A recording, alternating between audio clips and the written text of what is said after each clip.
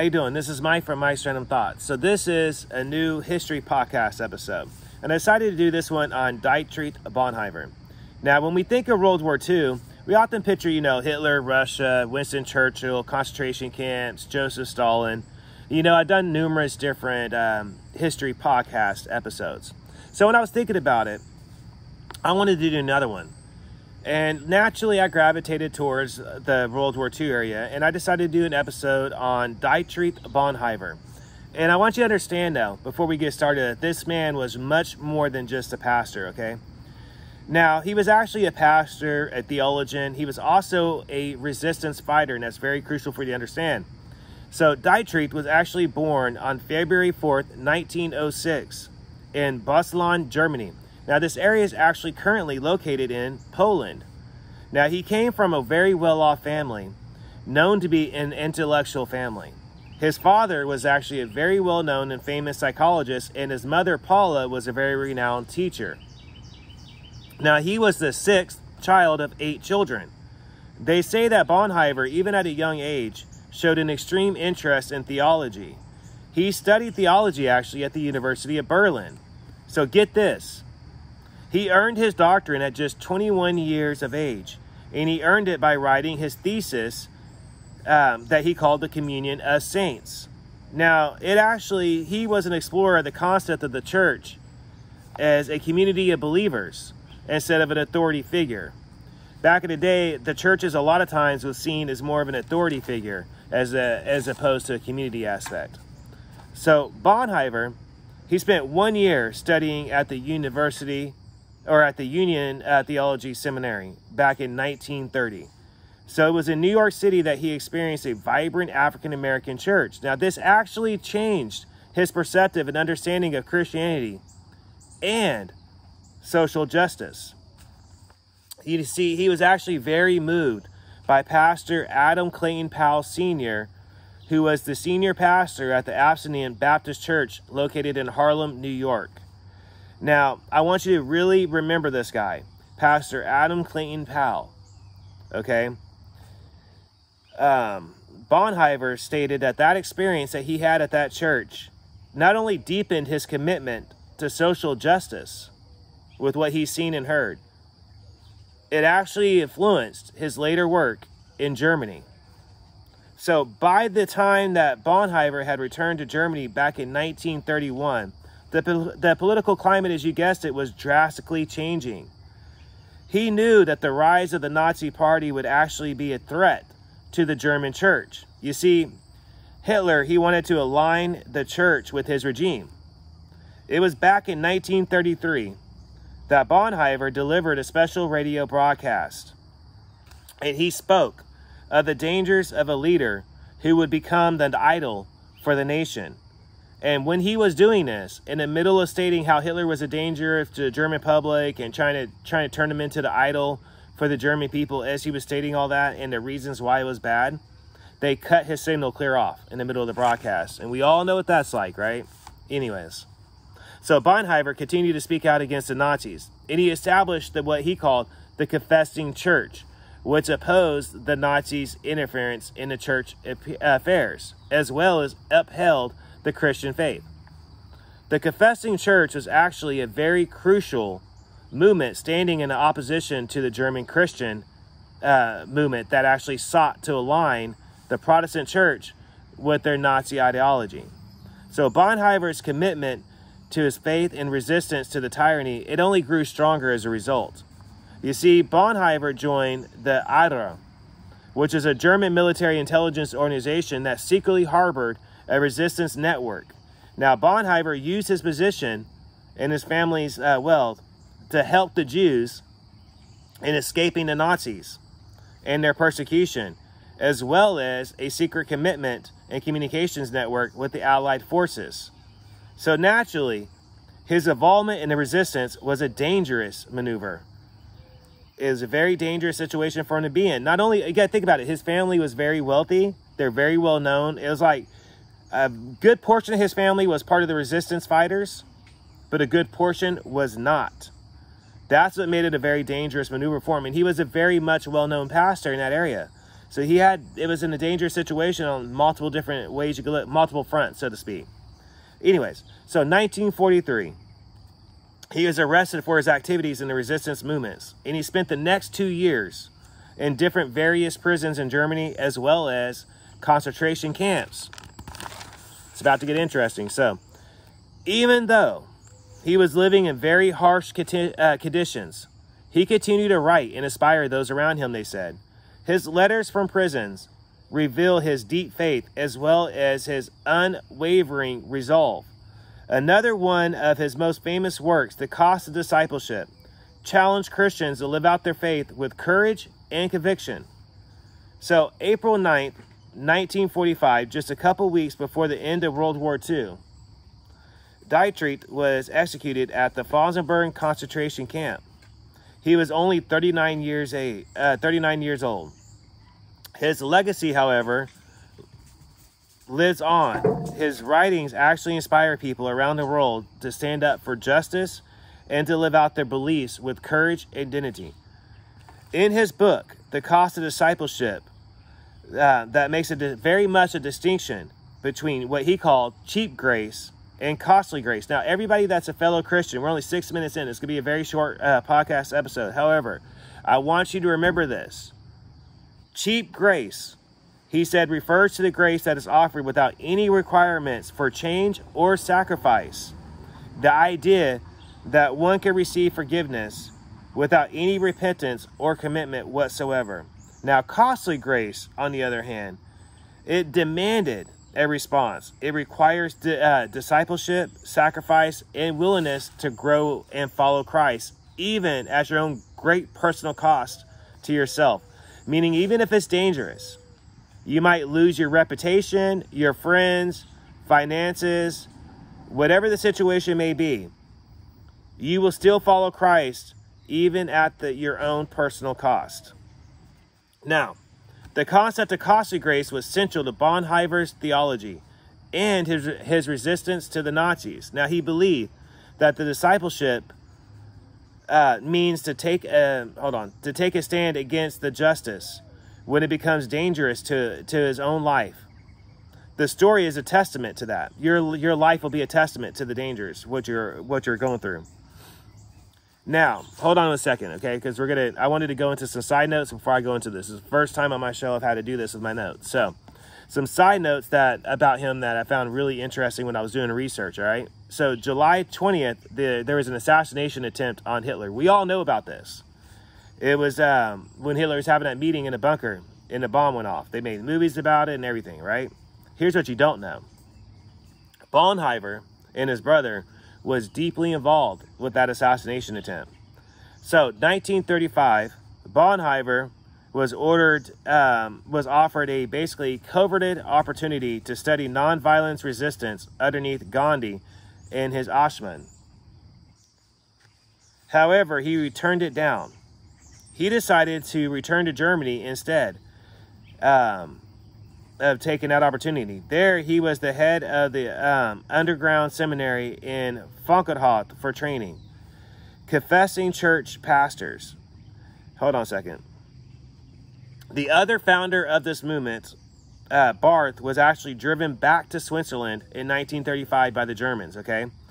So later, Niemöller was arrested in July of 1937 by the uh, German SS squad. Okay? So in August of 1936, Bonhoeffer's um, authorization to teach at the University of Berlin was actually revoked after he was denounced as a pacifist and an enemy of the state of Germany by Theodor Heckel. So another guy Theodor Heckel got him fired from his position at the university, stating that he was a pacifist as well as the enemy of the state. Uh, so they took away his teaching position. All of this is crucial to understanding when you're understanding this guy, okay? So by August of 1937, Himmler himself decreed that the education and um, examination at the Confessing Church of Minister can- uh, candidates is illegal. Now, the Confessing Church, remember, is what Bonhoeffer helped establish. That's what I want you to remember right now. Himmler himself said it was illegal. So September of 13, uh, 1937, Gestapo closed the seminary school, uh, and by November, they arrested 27 pastors and former students. 1938, the Gestapo banned Bonhoeffer from ever entering the city of Berlin. So they let him go around Germany, but he was not allowed to enter into Berlin whatsoever, which is interesting when you think about it. So the Nazis, the authorities eventually banned him from actually speaking in public at all. Um, he was actually required to report all his duties and activities to the police. 1941, he was actually forbidden to print or publish anything whatsoever. So basically, back then, this would be their version of censoring you. You know, like whenever you try to publish something on your social media and they say fact checkers determine that this is false and blah, blah, blah, blah, this goes against our community guidelines and all that. Well, that's what the Germans were doing back then. So he was actually, they decided, okay, so everything else we've done to you wasn't good enough. So now we're not going to allow you to publish anything whatsoever. In fact, we're not even going to allow you to print anything. So, and as a pastor, you can imagine this is really kind of like a death blow to what he did for a living. Due to his uh, confessions, it is widely assumed that he knew about numerous plots against Hitler's life back in 1943, more than just the famous bombing that everybody talks about. Everybody talks about Valkyrie and the bombing and all that. And yeah, he was involved in that, but there was numerous different plots against him at the same time. So, SS Judge Otto Thorbecke at, at Drumheim Court, Court Martial actually withheld witnesses from any evidence against him whatsoever. So there was no record, there was no proceedings, there was no defense for uh, Bonhoeffer in Flossenbürg concentration camp they basically found him guilty of everything. So Himmler wrote up his report, or his SS squad wrote up his report, right? They held his trial at the concentration camp. So he was found, he was court-martialed, and they did this without any witnesses, without any evidence against him. There was no records of him doing anything wrong whatsoever, and in fact, there was not even official court proceedings. But he was still found guilty because that's what the German Nazis did. And he was hung at dawn in April 9th of 1945. So, another side note um, that you should know is um, a doctor once stated, Pastor Bonhoeffer um, was kneeling on the floor and praying fervently to his God, passionately, just crying in tears. And it was, he basically said he was deeply moved by the way that this man loved and prayed so devoutly and so contently in his beliefs to his God with his prayers, especially at the place at the place of execution. He again stated a short prayer, and then as he the the doctor was saying as he was climbing the steps to the gallows, bravely and composed, he was still stating a prayer underneath his lips as he was going to the steps. Now his death ensued after only a few seconds. In almost 50 years, he said that I worked as a doctor. I have hardly ever seen a man die so entirely submissive to the will of his God. And I think that that's something that you should not just, that's something that you should remember. Sorry about the noise. I got dogs running around. So the account of his death um, has actually been debated, okay, naturally. I actually added this in the other day when I was doing my research, I said I should probably include this. The, the actual account that we're hearing about of his death, it's been debated. One expert said that it actually took six hours plus departures from the camp procedures that may not have been allowed um, to prisoners. So late in the war and jarring uh, numerous different inconsistencies with his report. Now, his execution was actually ordered by the highest level of the Nazis by individuals within a pattern of torturing prisoners, okay? Who actually, anybody who dared challenge the Nazi party was really tortured to death by the same people at this particular camp that he was at. It was a whole camp of uh, employees that were basically the best of the best at torturing and getting information. So people said that his stay was most likely much worse than people actually stated. That the doctor was given a job of reviving the political prisoners, this particular doctor, after they had been hanged in order to prolong their deaths and to prolong their agony and the dying of their death. No one actually knows if he was actually cremated or buried in mass graves, so there is no body, but a plaque actually where he died. And I want to go back here real quick. So I think ultimately when we look at Pastor um, you know, his life story is a testament to what he believed to be a martyr for your God, to live up to what Jesus said, even at your own great cost to your life, whether it be your finances, your life, your family, your reputation, no matter what it is. Your life should be a reflection of your of your belief in Christ. Even at your own cost. And I think his testament was literally literally he lived up to that. His life story is a testament to that. He truly lived out his faith with an amazing courage, knowing all the risk involved. I mean, his story means to live out our own personal beliefs in the face of adversary. Um, he is one of those historic guys that basically reminds us that courage and conviction are essential components of a well lived life. Um, when I was thinking about World War II, and you know, like I said before at the start of this, I've done numerous different podcast episodes about World War II, and I mean a lot, and about a lot of different types of people. And as a Christian, I have been struggling with trying to get more Christian material for my podcast channel.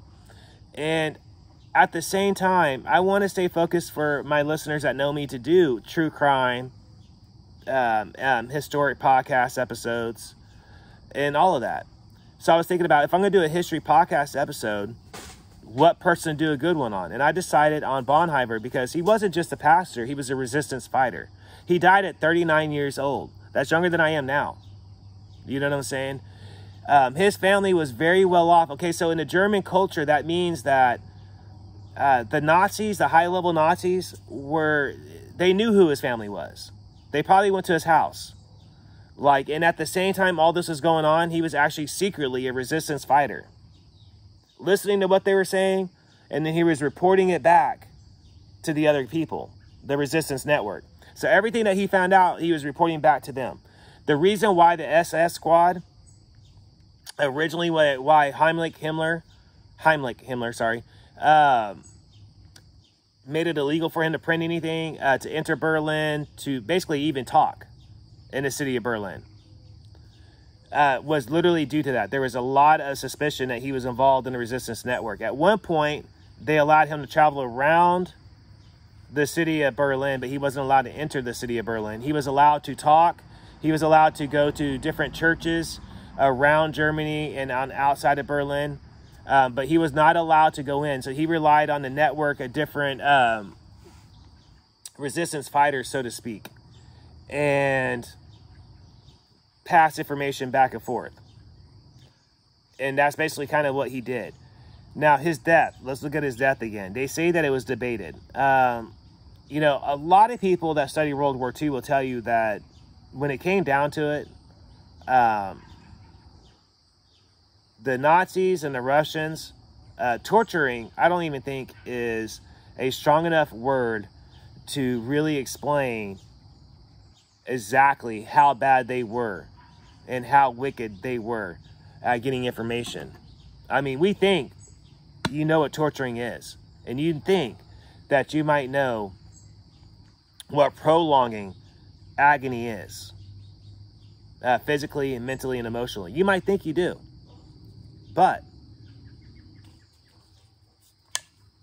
when you get into uh, when you get into World War II and you start looking at the Germans and you start looking at the Soviets, you find out that these people,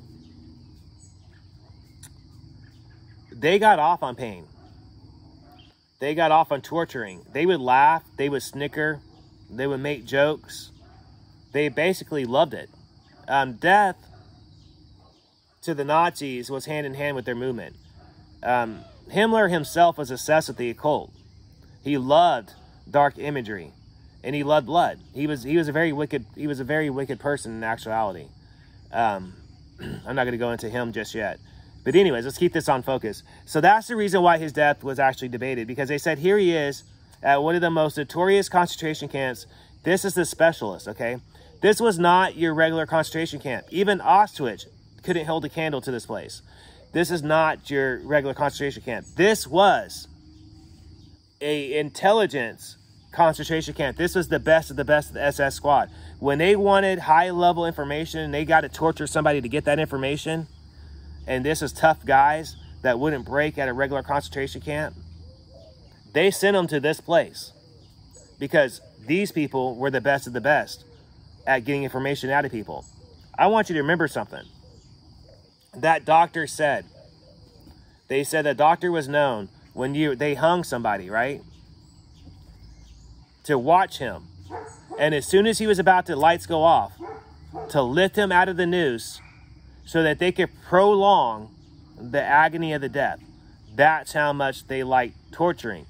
And that is the reason why they said that more than likely his death account is not accurate. He was probably much way worse. He was probably beaten. He was probably bloody. He was probably starved. You know what I mean? He was probably tortured. Body parts might have even been missing. This is a high level target for the Germans. His family was wealthy. They're aristocrats. He was highly educated. And he was one of the leaders of the original resistance network. For all you people that think you know about Antifa, he was like the godfather, one of the godfathers of them okay, who we just talked about, just so you know. Um, and he was also a pastor. And he led one of the um, basically information networks that went against the uh, German state. So that's why they sent him there. So, do I think that the accounts on his death might be off? Maybe. I can't say for sure if he was tortured more than what they're claiming he actually was. And I don't think any of us can. I've watched every movie I can about this guy doing this research. There wasn't a there's a lot more written information about him than there was actual like documentary style stuff. Sorry about the dogs again, everybody. Um, bear with me.